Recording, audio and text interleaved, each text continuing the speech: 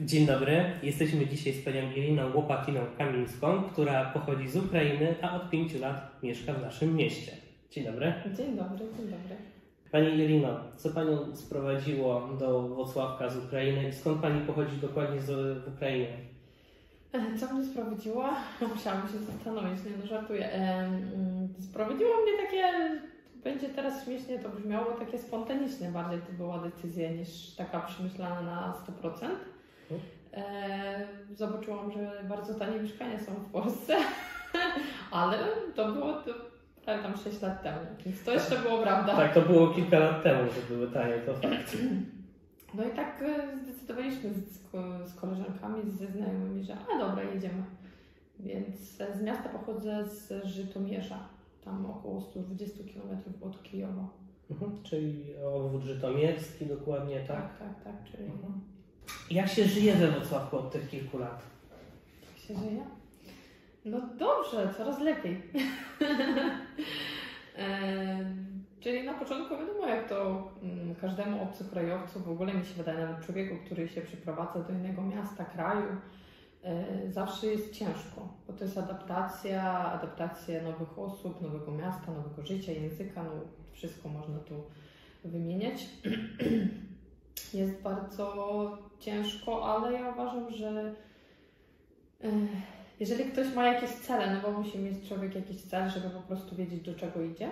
I wtedy jakby no, powoli i małymi krokami do, do tego celu idzie, tak?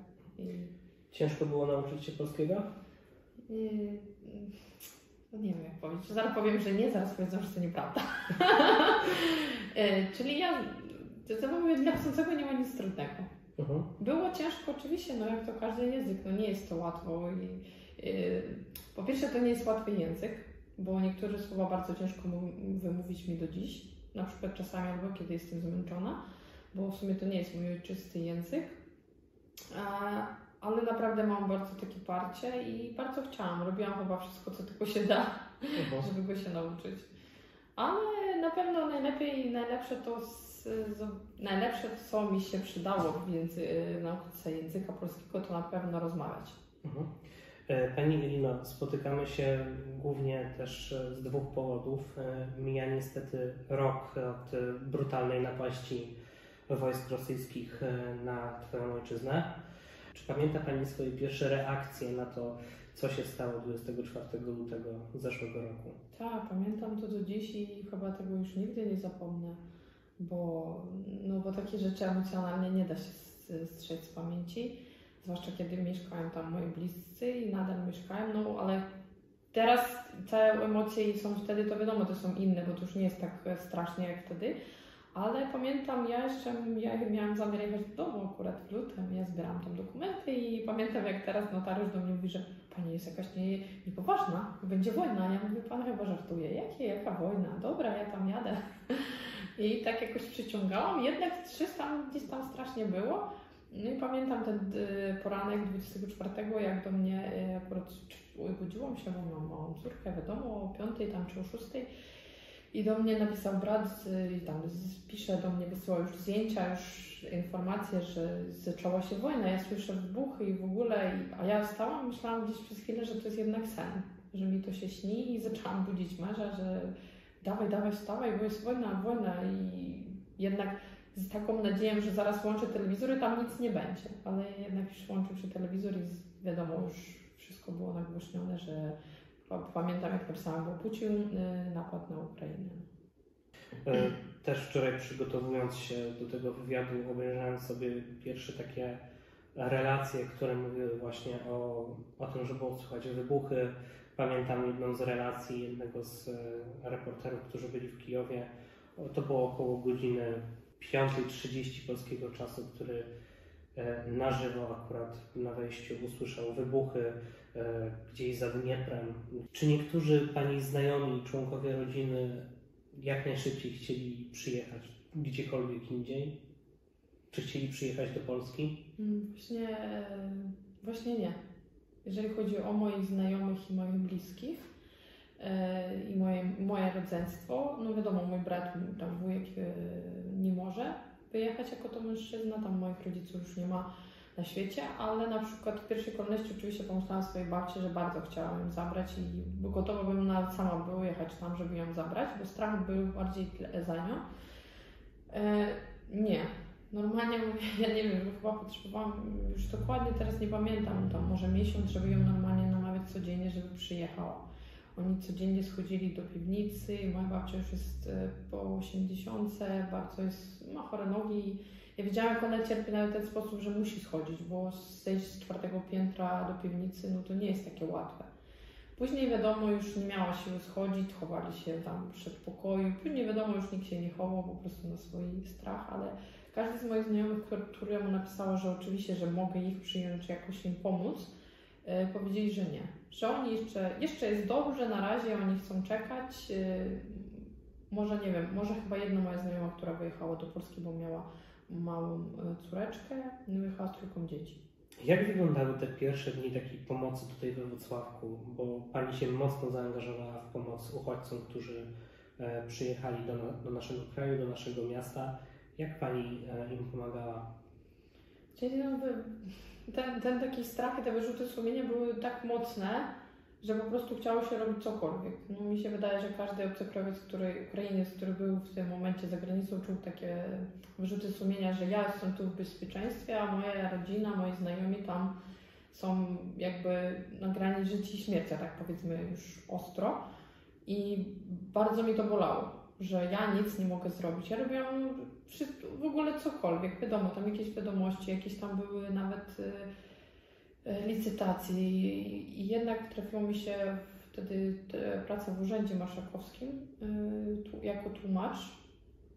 I wtedy właśnie tam e, pomagaliśmy Ukraińcom w jakikolwiek sposób, na różne sposoby, czyli w Urzędzie Marszałkowskim pomagaliśmy od A do Z i fajnie było pomóc, bo kiedy oni takie, tacy wystraszeni powiedzmy, bo wiadomo, obcy kraj w ogóle nic nie wiedzą, przychodzili i słyszeli ten e, język, tak, ten nas powiedzmy swoich rodaków, to naprawdę widziałam, że tak się cieszą, że tak, o Boże, wy rozmawiacie język ukraińskim, jak fajnie. Więc to było naprawdę bardzo fajnie, że wtedy tam trafiłam, bo czułam, że coś robię, że pomagam. No bo tak siedzieć w domu to było najgorsze, co mogłoby trafić. Mhm. Też e, ta kwestia takiego pomagania to jest nie tylko właśnie tłumaczenie i tak dalej, ale też pokazywanie tej codzienności mm, życia uchodźców w naszym kraju. E, zajmuje się Pani też fotografią jako swoją e, pasją i w ten piątek, 24 lutego w Browarze B będzie wernisaż Pani wystawy pod tytułem Chcę wrócić do domu. Tytuł wystawy strasznie przejmujący już na samym początku. E, widząc zapowiedź, to chwyta za serce. Skąd e, pojawiła się chęć e, stworzenia e, takiej wystawy? Czyli zajmuję się pasji, pasji, jak z pasji, takie zawodowe fotografią. Chęć, no, najpierw to nie, oczywiście nie był pomysł od razu, że to była wystawa, miałaby być. To nazywałam to projekt Ukraina. Mm, pomysł to ja nawet też nie wiedziałam, jak do tego się zabrać. No ciężko, nie wiedziałam, czy to jest takie normalne, wiedziałem zdjęcie, czy to jest jakby adekwatne z mojej strony bo to e, chciałam po prostu jakby z jednej strony miałam im pomysł, żeby zrobić na jakiś e, Dzień Kobiet, żeby po prostu taką akcję, żeby im, nie wiem, jakoś pocieszyć. Później pomyślałam, że będzie fajnie na przykład zrobić e, im zdjęcia. W ogóle cały czas jakby myślała nad tym, ale nie było konkretnego pomysłu. Pamiętam, bardzo poznałam taką jedną rodzinę, która też będzie na tych zdjęciach. Bardzo tak jakoś, no tak tacy bardzo fajnie w porządku, mama z dwójką dzieci i kiedy robiliśmy im, kiedy ja robiłam zdjęcia, jeszcze bez myśli o tym projekcie, e, miałam po prostu konkretny swój pomysł, tak w polu, mama z dziećmi e, i później ona oglądając te zdjęcia normalnie tyle mi miłych powiedziała i powiedziała do mnie, że te zdjęcia nadają się na jakąś wystawę.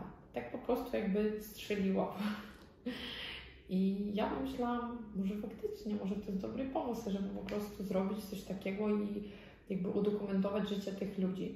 Zwłaszcza kiedy zaczęło się bardzo negatywna, mm, negatywne komentarze i opowieści o Ukraińcach, e, że przyjechali, że no, dużo gadali. tak mi było, trochę mi bolało serce, nie tylko że dlatego, że jestem z Ukrainy i jestem Ukrainką, po prostu, że nie można wszystkich rzucać do jednego wora ale zawsze są, znajdą się te dobre i te złe.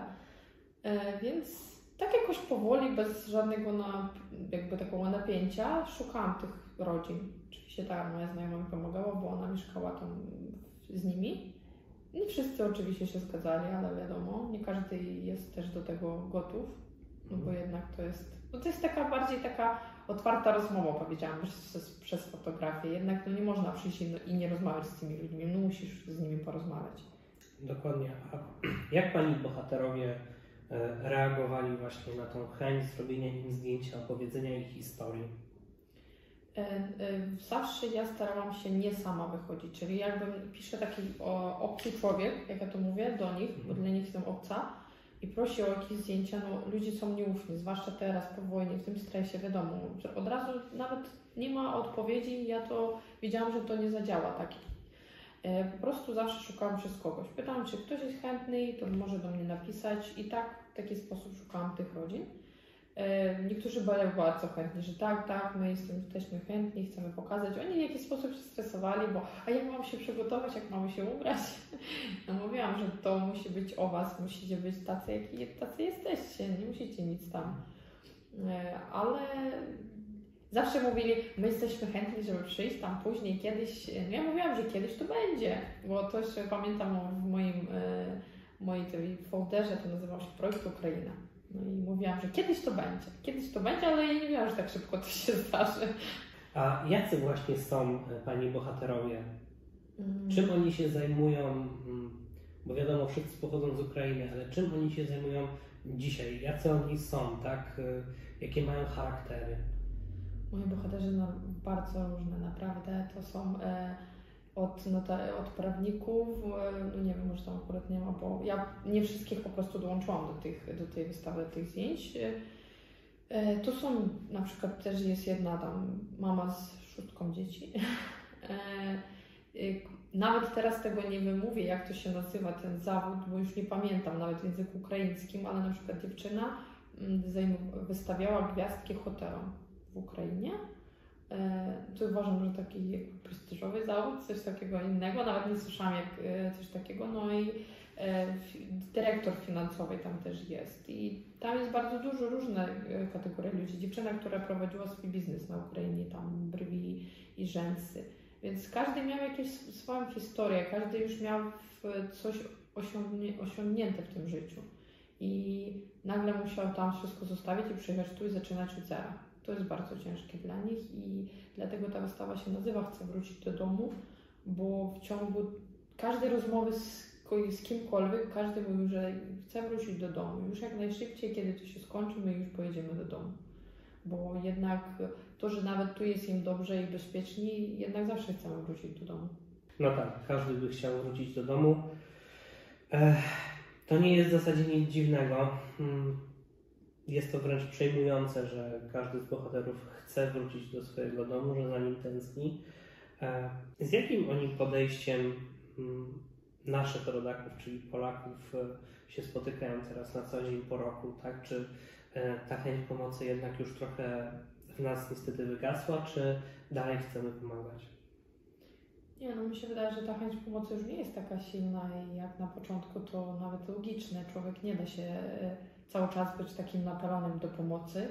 E, I też po prostu spotkaliśmy się, nawet ja osobiście się spotkałam w tym punkcie informacyjnym, e, bo jak powiedziałam, są różne ludzie, e, też są nachalne w jakiś sposób, ale nie można znowu mierzyć wszystkim, bo jeżeli dzisiaj przyszła jakaś pani, która nie jest zbyt miła i chce w jakiś sposób być tam, nie wiem, nachalna, to nie znaczy, że druga, kolejna będę ją traktować tak samo, bo ona na przykład dzisiaj przyjechała, jest wystraszona i potrzebuje pomocy. E, Czy teraz pomogę? Teraz nawet chyba już nie przyjeżdżają Ukraińcy, żeby im pomagać. Już, już większość, które na przykład te rodziny, co ja z nimi miałam do czynienia, to wszyscy już w jakiś sposób się ustabilizowały, albo poszły do pracy, albo ktoś na przykład nie pracuje, ale jeżeli nie pracuje, to nie oznacza, że on otrzymuje się tylko za 500, plus, jak słyszę często. Na przykład są sytuacje, gdzie mąż dobrze zarabia i, i, i wysyła te pieniądze. Więc w taki sposób to nie można, e, bo ludzie biorą tak, że wszyscy, którzy Ukraińcy przyjechali po wojnie, że to są, muszą biednie, e, bi- biednie mają, oni nic nie umieją. Ale no, tam są różne ludzie mieszkają, tak? Którzy są bogaci, ja bym powiedziała, więc dlaczego oni na przykład jak mają możliwość nie pracować, to czemu nie? Mhm. No, ale niektórym to się nie podoba. Mm, Na szczęście dane gospodarcze nasze mówią o tym, że e, uchodźcy, którzy przyjechali, wygenerowali większy dochód narodowy, niżeli Polska wydała właśnie na pomoc. Tak? Także e, upada cały ten mit, że e, my tylko wydajemy, a nic nie dostajemy w zamian. Tak? My dostaliśmy jako Polacy też bardzo dużo, bo dostaliśmy wiele rąk do pracy, tak? które generują jednak dochód w naszej gospodarce.